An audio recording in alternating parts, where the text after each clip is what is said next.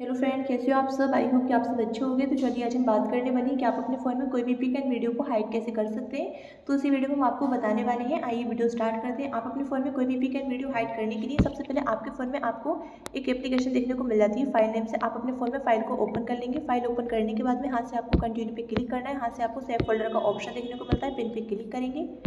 Pin पे click करने के बाद में आपको नेक्स्ट पे क्लिक करना है और एक बार पिन को कंफर्म करना है। कंफर्म करने के बाद में आपको गोटिन पे क्लिक करना है। यहाँ से आपको बेक होना है।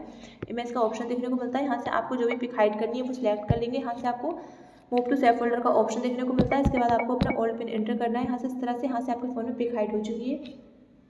तो जो भी पिक आप हाइड करते हो, वो आपको गैलरी में देखने को नहीं मिलती है। बहुत ही सिंपल है। इसी के अकॉर्डिंग आप अपने फ़ोन में कोई भी पिक एंड कोई भी वीडियो हाइड कर सकते हैं। आई होप कि आपको वीडियो अच्छी लगे। वीडियो अच्छी लगे तो वीडियो को लाइक करें शेयर करें। चैनल पर नए हो तो चैनल को सब्सक्राइब करें। मिलते हैं अगली नेक्स्ट इंटरेस्टिंग वीडियो के साथ। तब तक के लिए बाय एंड टेक केयर